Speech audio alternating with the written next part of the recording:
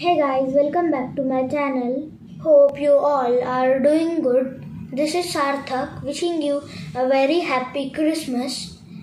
Today want to share some information about United Kingdom. What is UK?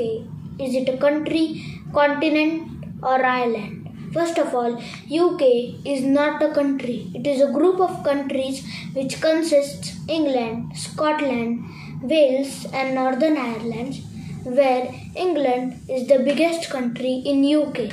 UK is the part of Europe continent.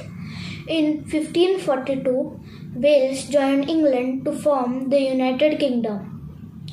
In 1707, Scotland also joined England and Wales. In 1801, Ireland also joined England, Scotland, and Wales. In 1922, Ireland was divided into two parts Northern Ireland and the Republic of Ireland.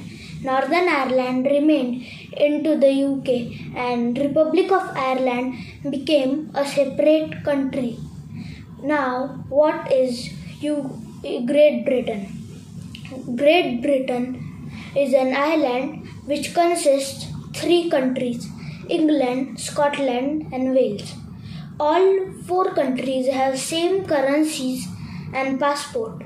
London is the capital of England and as well as United Kingdom. The Great Britain pound which is GBP is the currency in UK. Today 1 GBP equals to 100 rupees. English is the official language of UK. The countries also have their regional languages like Welsh and Scottish. UK is the fifth largest economy in the world. The population of England is 60 millions, which is the highest in the UK. The population of Scotland is 6 millions.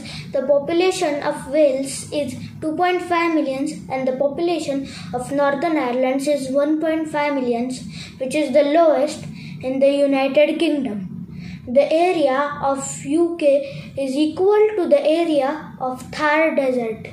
If you think that this video was informative, please like, share and subscribe. We'll meet in the next video. Till then, take care. Bye bye.